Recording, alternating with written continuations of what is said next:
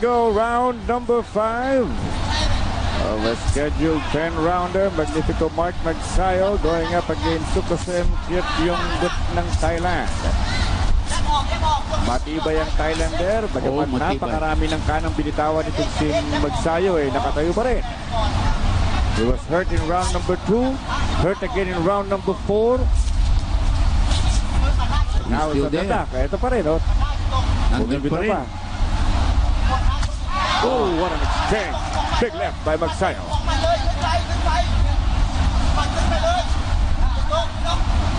Ito problema kasi nung uh, Thailander. eh. Bigla siyang susugod. May kanan, padaus-us. So he loses his balance. At nauhuli siya ng counter na uppercut. Beautiful body blows by Magsayo. But he's tough. Oh, Ito, Sukosem, matibay talaga. Uppercut. Body blows by Magsayo. The tie still there. Matibay itong si Sukasem.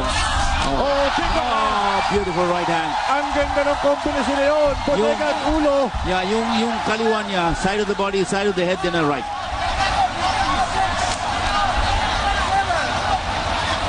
Beautiful left-right combination. Head and body, huli. Si Sukasemet. Ito na. Magnifico Mark Magsayo on the attack. Pipiliting tapusin na itong si Sukasem ng Thailand.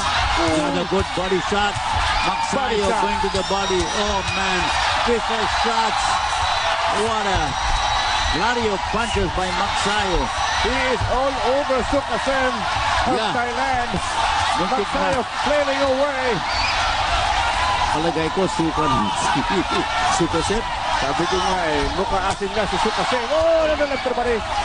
A little low. A little low, konting warning from the referee. Oh, overhand right. A chopping overhand right. He went through the ring. He went through the rope. It's over. It's over. What an explosion from Magnifico Mark Magsayo.